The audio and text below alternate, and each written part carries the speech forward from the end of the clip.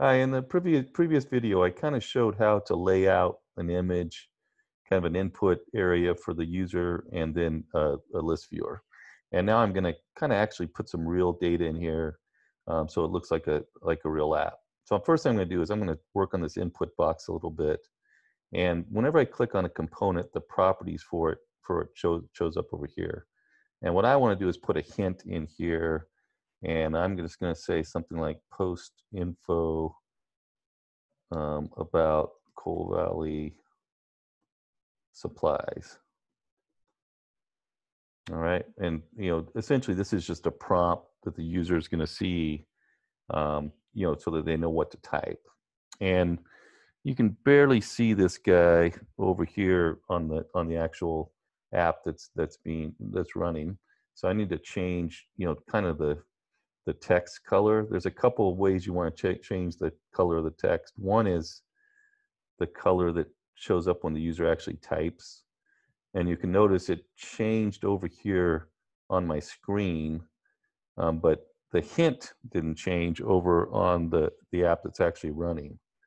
Okay, and the, the way to change that is if you go to advanced, and it's actually not in text style, but in styling, and if you scroll down in styling, there's actually a, a hint color, which is can be different than the, the text color. And the hint is just basically what appears when, you know, before the user um, clicks on the uh, text input box to, to add something.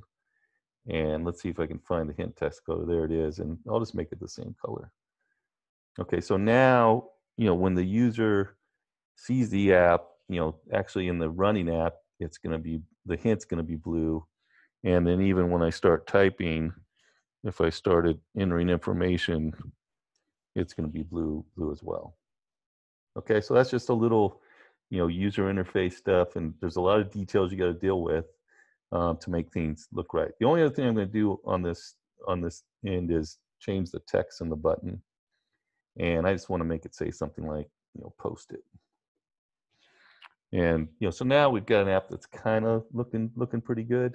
You know, obviously I could spend more time to to beautify it. The the next thing I want to do is is make it so some data shows up in the list viewer because right now you can't really tell what's supposed to happen. Okay, so I'm going to go over to the blocks, and this is where the interactive behavior of the app happens.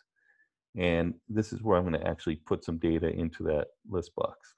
The first thing I'm going to show you is what's called a variable. And think of a variable as like the kind of hidden data of an app. I mean, it might show up in the app, but think of it as kind of the hidden memory. All right. And I'm just going to call this variable posts.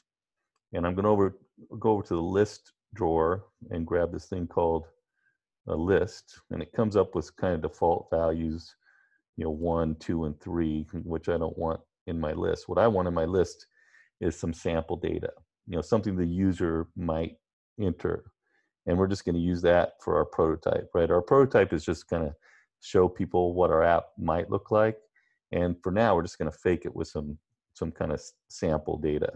So i'm going to go over the text block and grab these kind of blank text blocks and i'm going to have three of them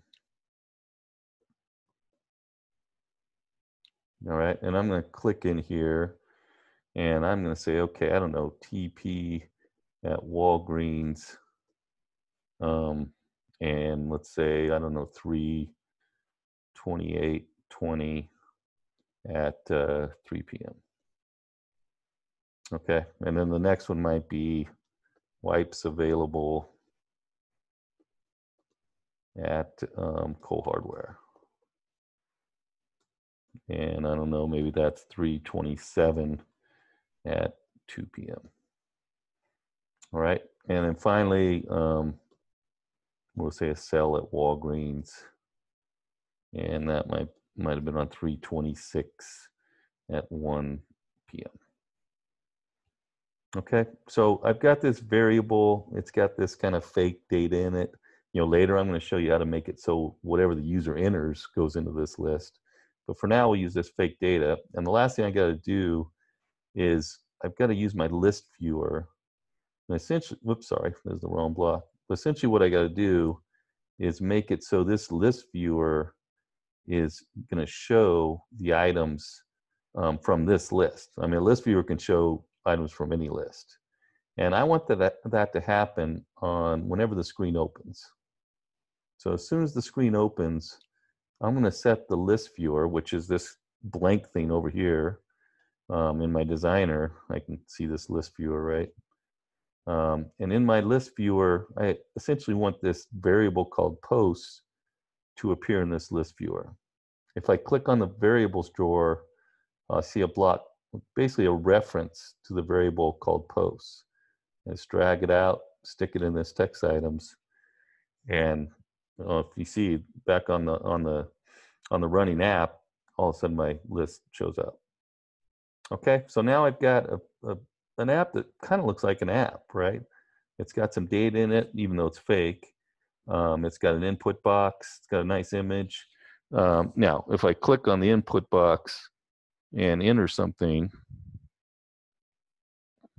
and I click on post it, you'll notice my list doesn't change. So in the next video, I'll show you how to actually add interactive behavior to your app.